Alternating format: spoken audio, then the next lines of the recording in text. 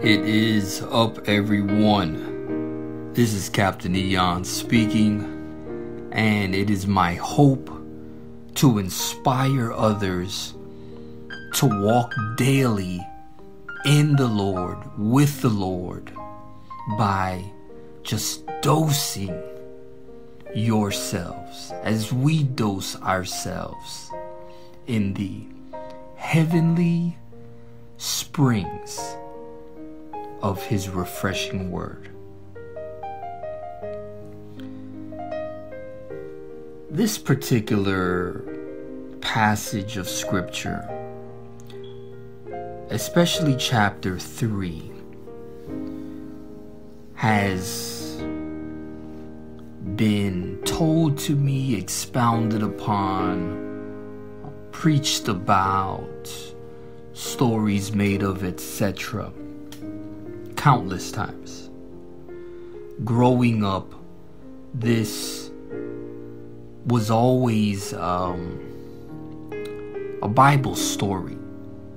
I have vague memories of being very young in Sunday school and coloring pictures of Samuel being called in the temple.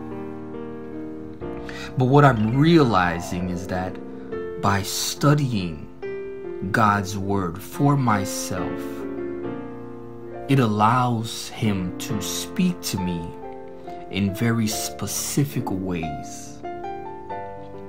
So while this share may not be anything you haven't heard as far as idea, main ideas concerned, this perspective has to be unique because it's mine. The main idea and topic, while the lamp is still lit, is from chapter 3, as stated before, verse 3.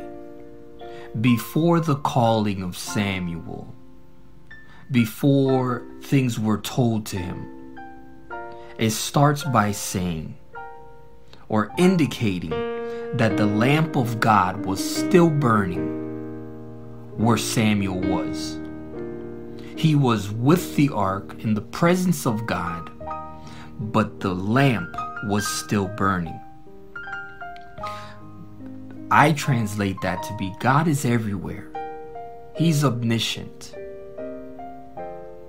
But the lamp the, the fire of his spirit that keeps the world illuminated.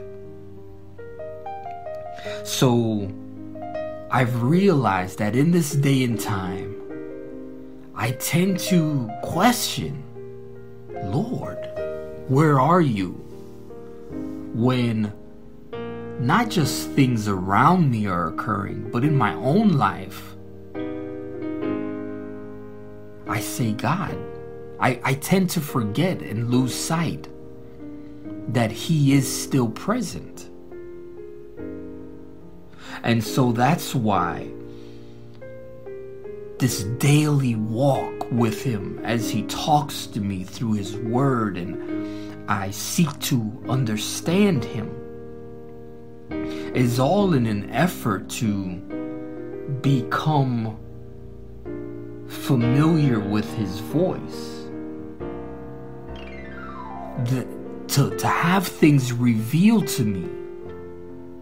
Because I've realized that God's always saying the same thing. The message doesn't change, but the messenger sure does. The, the form that he takes on does. So I have to always be continually